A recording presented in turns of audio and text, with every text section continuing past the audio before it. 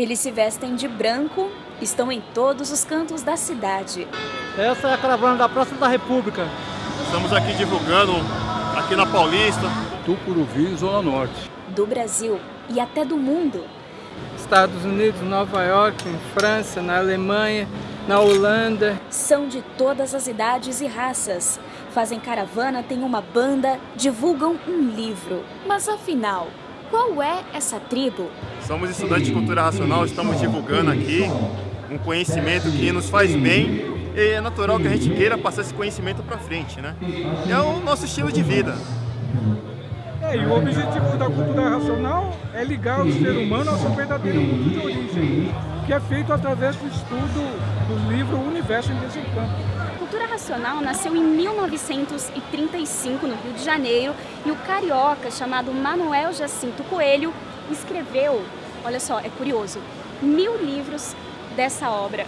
E aqui no centro da cidade de São Paulo, na região da República, tem uma livraria só desses livros, Universo em Desencanto. Na década de 70, Tim Maia entrou para a cultura racional. Me restou a curtição Gringo, por que, que é tão raro encontrar Tim Maia racional? Por exemplo, para mim foi uma dificuldade de achar em alguma loja de vinil aqui de São Paulo. É um disco que eu não sei quantas cópias saíram. Às vezes tem, tem ah, eu tenho aqui o, o não é original, não, eu quero original. Principalmente os gringos de lá de fora. Tem muita demanda estrangeira procurando Estrangeira, a demanda estrangeira de música brasileira é muito alta. Por que, que esse livro, do, o disco do Tim Maia, ele faz mais sucesso lá fora do que aqui no Brasil? Por causa do groove brasileiro, né? A sonoridade brasileira. Tem muita coisa, a cabeça dele era. tava mil por hora aí. Eu acho que. Era um gênio, né? Gênio. Tim gênio. Maia racional não vai morrer não, né? Não, não, de jeito nenhum. Banda de São Paulo existe há exatamente 35 anos, né? Mas quais foram os eventos mais marcantes que vocês participaram, que você pôde presenciar, que você lembra bem? É, a banda já, a banda Racional já tocou em alguns países da América Latina, como Argentina, Paraguai, Uruguai e Chile, né? Uhum.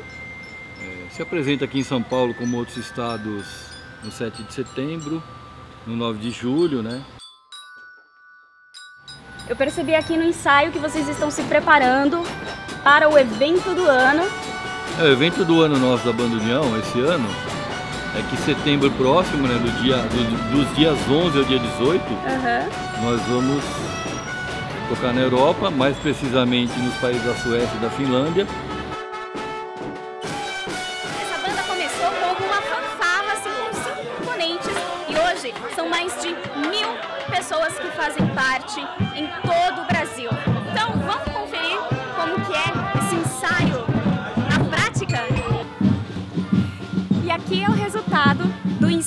De ontem. Hoje é domingo, dia 26 de março de 2017 e a banda está divulgando na Zona Oeste, na região do Butantã.